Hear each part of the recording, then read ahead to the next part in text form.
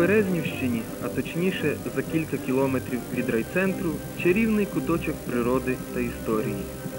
Бог його знає, як офіційно він називається, а поміж людей святий курган або більш уживана назва курган козацької слави. Саме тут на Велелюдді ось уже втретє проводять районні козацькі забави, які присвячуються Дню Незалежності нашої держави. Ще задовго до офіційного відкриття свята журі, до складу якого входили керівники району та гості з Рівного, провело огляд куренів.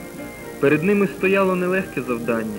Із 22 куренів, а саме стільки сільрад Березнівського району взяло участь у забавах, потрібно було визначити кращих і справедливо визнати, у кого ж найгарніший, ближчий до справжнього курінь, хто краще виконує українську пісню, у кого смачніші пампушки, юшка чи куліш. А козаки у святковому настрої і жартували, і сміялися, і до дівчат залицялися. Та понад усім цим галасом плескала у ласкаві долоні пісня.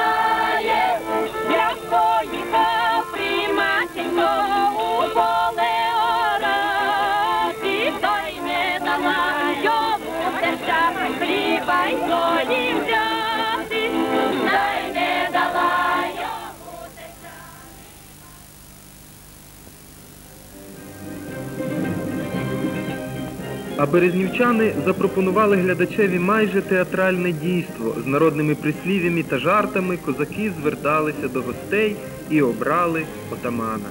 Так, як дядько батюшко на Великдень вітав. А каже, заходьте, батюшко ж ти вітав, отак були. Тільки пес наш загарчить, мене зарохоче, так і думаємо усі, що то ви, пано. Тож запрошую, каже, на тепленький в добрий час, пийте гріту з перцем, грайте собі печінки, ріжте собі серце. А за ким вам подадуть печеного зайця, не сидіте, прошу вас, лупіть собі яйця. То ми ж будемо не так вітати, шановне панство, а запросимо їх до куріння скуштувати наших козацьких давніх страв, кулешику відвідати, галушечок, скуштувати замість теперішнього хліба козацьких загребів. Прошу вас у курінь, шановне товариство.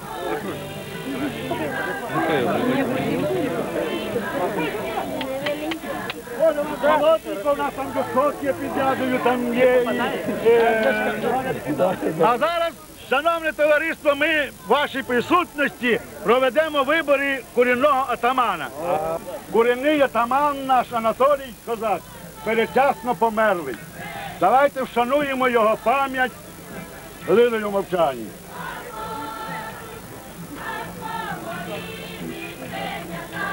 А зараз оберемо нового корінного атамана. Кого є які пропозиції, козаки? Козака Яроша! Козака Яроша! Дякую! Йди сюди! Дякую, шановні козаки. Чому ти, ти не хочеш бути нашим батьком? Та гріх маю. Який це гріх? Та горілку полюбляю. Це! Обираємо його атаманом, виходь таки!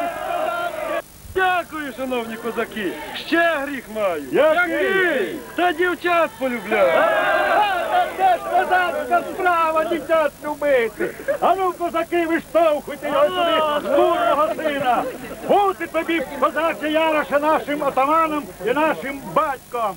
Вітаємо нашого нового атамана! Слава! Слава! Слава! Сьогодні тут зібралося, ну, напевно, більше 20 куренів. Що, ва- що вас тягне сюди? По-перше, традиції нашого народу. Не потрібно їх забувати і таки пам'ятати, що на цьому місці полегли козаки за нашу незалежність, незалежність України. А оскільки сьогодні четверті роковини цього свята, то ми і з приємністю йдемо сюди, щоб ще раз і ще раз поклонитися їхній славі, славі наших предків. Є чому вклонитися, є що шанувати, адже ці місця пам'ятають минуле. Козаків Наливайка, Лободи, Шаули, які полягли у двобої з польською шляхтою, і нині їх душі спочивають тут.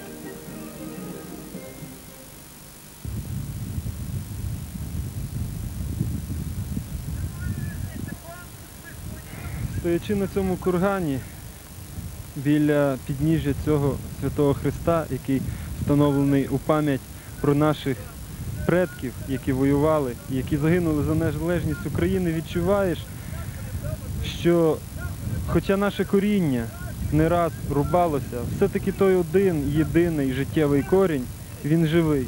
Він проростає в глибину крізь віки, і він дає нам силу пам'ятати, пам'ятати про те, що було багато століть тому на цій землі, і пам'ятати тих людей, дякуючи яким ми сьогодні можемо бачити оцю всю красу, можемо бачити е, радість цього неба, можемо бачити посмішки на устах людей і можемо говорити, що сьогодні ми маємо незалежність, можемо радіти, що ми маємо таку міцну і я сподіваюся в майбутньому багату державу.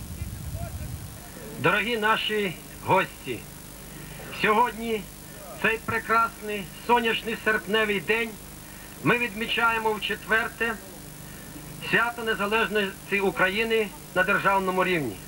Вже чотири роки минуло відтоді, як волею народу було проголошено історичний акт і здійснилась віковічна мрія багатьох поколінь українців жити у своїй ні від кого незалежній самостійній державі, жити так, як живуть усі цивілізовані народи світу. Ця мрія ніколи не гасла народній душі, її вогонь то жеврів під попелом в темні безпросвітні часи, то вибухав потужним полум'ям у пориви боротьби з різними поневолювачами.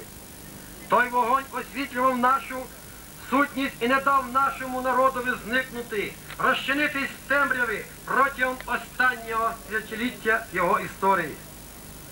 Бо справді важким і трагічним був його шлях відтоді, як упала в неволю наша давня держава Київська Русь.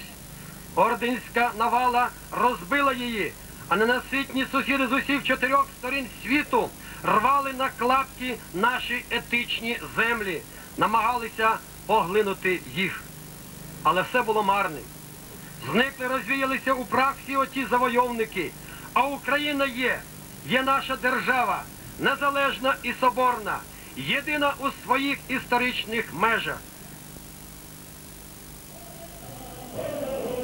А згодом було відкриття, і вийшли козаки з-за кургану, немов предки з землі повстали, немов покликав їх живий наливайко, і стали вони, і показали силу свою.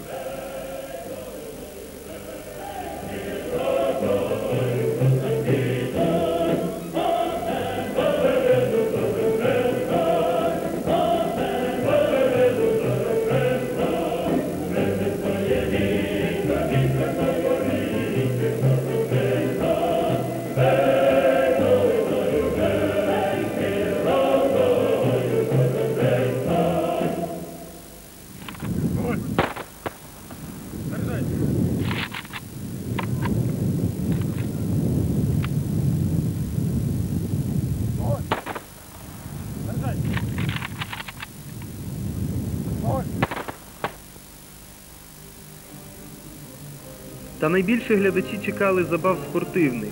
Вони проводилися за правилами змагань, які існували кілька століть тому. Використовувалися спортивні знаряддя, якщо їх можна так назвати, звичні і разом з тим незвичні. Так або майже так веселилися наші діди і прадіди.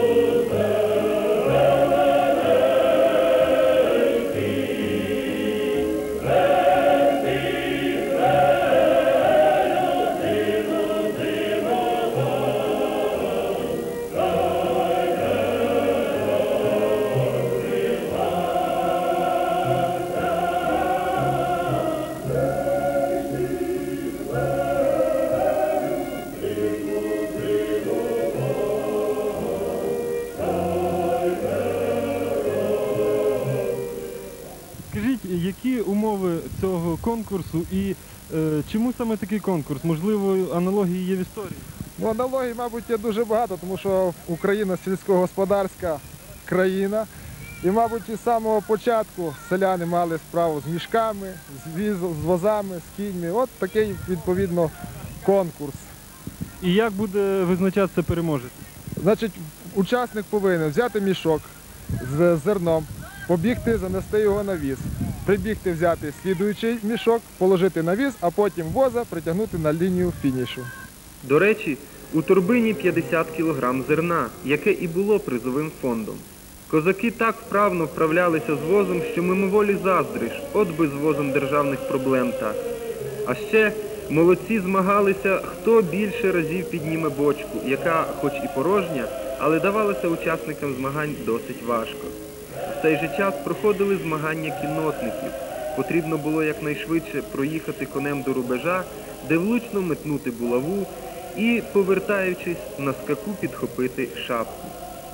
Та найважче давалася молодцям колода. Щоб узяти участь у змаганнях, потрібно було спочатку на неї вилізти, а це було далеко не усім під силу. Дехто пробував навіть її осідлати. А хто все-таки опинявся зверху, не завжди міг тримати у руках торбину з зерном, яка ні-ні та й тягнула донизу. Але найбільше болільників зібрала естафета, під час якої козаки доводили, що плавати уміють теж. Адже треба було не лише подолати високий дерев'яний бар'єр, але й переплисти на козацькій чайці водойму, перейти через хиткий місток колоду над водою, а вже потім вузькою кладкою перенести товариша. Як це було? Дивіться.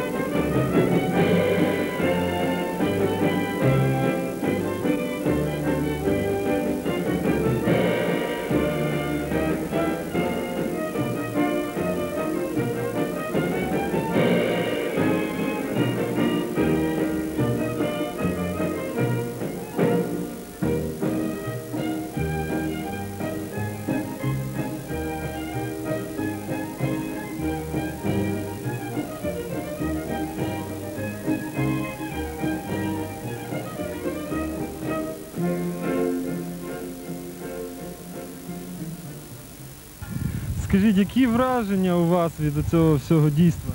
Ну я сказати як, досить цікаво, все організовано досить добре. Ну діти перший раз побачать, як козаки забавлялися колись в старину. Бо то скорше такого не було було бачити. Сподобалось нам тут. Тобто із усіх можливих, е, так би мовити, пропозицій, де б ви могли провести вихідний, ви вибрали тут і ви про це не жалієте? Ні, ні, як не жаліємо. Ні діти, ні ми. На жаль, ніщо у цьому світі не вічне. Закінчилося і свято. Та довго ще згадуватимуть люди цей день і чекатимуть наступного свята, щоб провести його так само весело.